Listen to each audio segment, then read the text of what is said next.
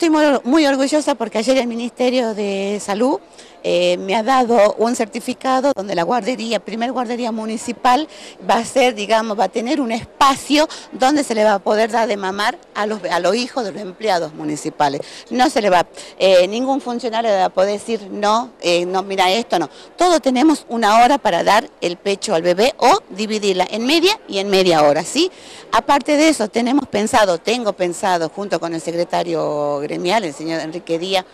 hablar con el señor intendente para ver si podemos tener un espacio, darle un espacio a nuestros hijos con distintos este, problemas de salud, con distintas discapacidades, ¿sí? Este, con síndrome de Down o los chiquitos aquellos que no sean violentos, para poder integrarlo dentro de lo que es, digamos, eh, a los chiquitos que gracias a Dios la Virgen están bien, para poner, decir, no, no lo hagamos de menos. Eso es lo que quiero yo y lo que queremos, digamos, eh, la gente que está trabajando conmigo. Yo estoy esperando eh, hablar con el señor intendente, estoy esperando porque estoy esperando la audiencia por por la misma razón, o sea, por más que soy empleada municipal no me gusta pasar por nadie, ¿no es cierto? Entonces esperar, pedir una audiencia como corresponde, como cualquier ciudadano, pedirle que yo creo que para la semana que viene ya voy a tener la entrevista con el señor intendente y, para, y podré eh, decirle quiero esto para poder que nuestros hijos y hijos de empleados municipales, también aquellos que tengan chiquitos con problemas de discapacidad, con distintas, que también se puedan acercar y digamos que hagamos un plan de trabajo dentro de lo que es.